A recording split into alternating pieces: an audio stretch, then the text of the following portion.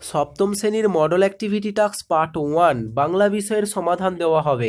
এটা তোমাদের দু হাজার বাইশ সালে সর্বপ্রথম দিয়েছে। বাংলা বিষয়ের পাশাপাশি তোমরা অন্যান্য বিষয়গুলো এই ভিডিও ডেসক্রিপশানে পরপর লিঙ্ক পেয়ে যাবে। অবশ্যই দেখে নেবে। এখানে দেখো, একে দাগে বলেছে, ঠিক উত্তর বেছে নিয়ে লেখো। প্রথম প্রশ্ন, ছন্দে বাঁধা। এখানে ক, খ, গ, ঘ, যে অপশান আছে, সঠিক উত্তর অপশান খ, রাত্রি দিন।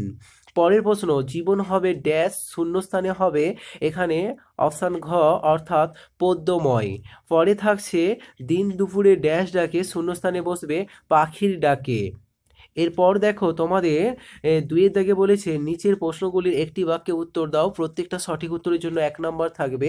ছন্দে শুধু কান রাখো কবিতায়, কবি কোন কোথায় কান দিতে নিষেধ করেছেন। উত্তর ছন- ছন্দে শুধু কান রাখো, কবিতায় কবি অজিত অজিত দত্ত, মন্দ বা খারাপ কোথায় কান দিতে নিষেধ করেছেন। পরের প্রশ্ন, ছন্দ শোনা যায় না কো? কখন ছন্দ শোনা যায় না? উত্তর, সমস্ত দ্বন্দ্ব এবং ঝগড়াঝাঁটি ভুলে জীবনের ছন্দের প্রতি মনোযোগী হতে না পারলে ছন্দ শোনা যায় না। এরপর দেখো কেউ লেখেনি আর কোথাও কোন প্রসঙ্গে কবি একথা বলেছে। এটা কবি হবে, কবি একথা বলেছে উত্তর নদীর স্রোতের ছন্দ যদি মনের মধ্যে ঠিকমতো শোনা যায়, তাহলে দেখা যাবে এরকম ছড়া আর কেউ লেখেনি। এই প্রসঙ্গে কবি উদ্ধৃত মন্তব্যটি করেছেন।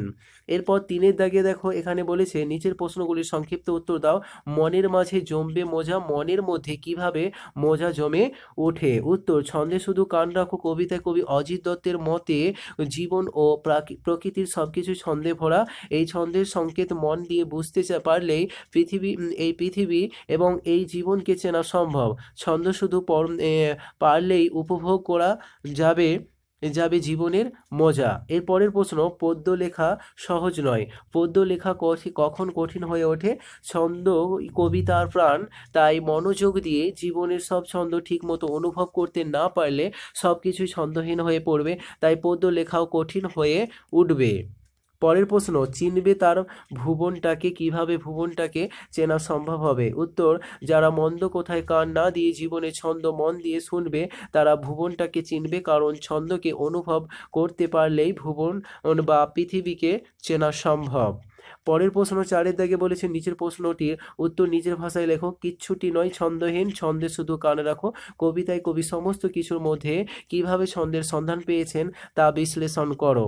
উত্তরটা দেখো কবি অজিত দত্ত জীবন ও প্রকৃতির সব কিছুর মধ্যেই ছন্দ খুঁজে পেয়েছেন। যেমন ঝড় বৃষ্টিতে জ্যোৎস্না রাতে, দুপুরবেলায় পাখির ডাকে, নিঝুম রাতে ঝিঝির ডাকে তিনি ছন্দ খুঁজে পেয়েছেন। নদীর কলকল ধ্বনিতে মোটর গাড়ি ও রেলগাড়ি চাকার শব্দ, নৌজাহাজে ভেসে চলার তালে তালে ঘড়ির কাঁটার অবিরাম ঘুরে চলা এবং দিন ও রাত্রির আসা যাওয়া আসা যাওয়া মধ্য দিয়ে নিজস্ব একরকম ছন্দ এরকম, একরকম ছন্দ রয়েছে।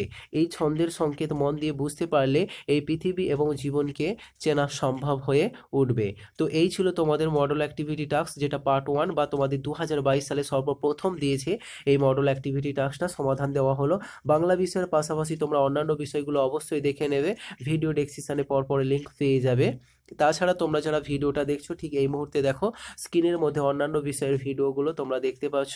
তো ভিডিওগুলো দেখতে চাইলে জাস্ট একটা ক্লিক করো ক্লিক করলে তোমরা ভিডিওগুলো পেয়ে যাবে।